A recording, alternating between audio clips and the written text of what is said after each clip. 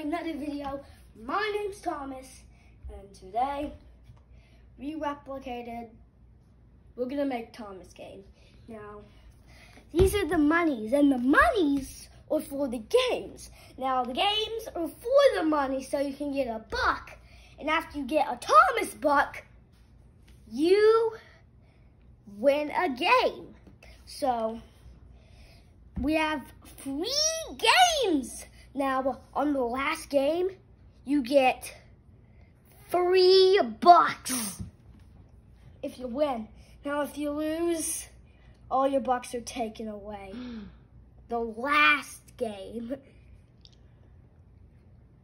And you get one buck each, every, well, you get one buck for the first two games. And then the last game, if you win, you get three bucks.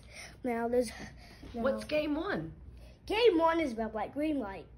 And when when it says red light, you stop. When it says green light, you go. Let's go back. Now, okay, now we're back. Now the second game, that's the honeycomb challenge. Now the honeycomb challenge is you have to get some, you have a clay with a random shape on it, and then you have to get it out, but if you lose, you take a buck away. Now, if, it, well, on the last game, you get three bucks. What's the last game? The last game is the grass, the the glass bridge. the glass bridge. Well, let me think of it again. Oh, okay. Now I remembered. The glass bridge. Well, there's a row of platforms. Some are loose, some are not. Now the not loose ones you can stand on. The loose ones, well, you can't stand on them. So if you can't stand on them, You fall? you just lose and all your bucks are taken away and you lose. Which is horrible.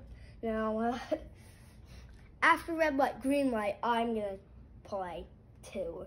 Now, I'm gonna make random shapes and whoever gets the hardest one, they get, well, we all get toothpicks. So it's pretty hard to cut through the clay. But that's okay. Because this is the clay we're to be using. do not do this. Now, go to my game, go to my gaming channel. Just search Thomas's gaming channel, and you'll see I got clay on there. Now, bye guys!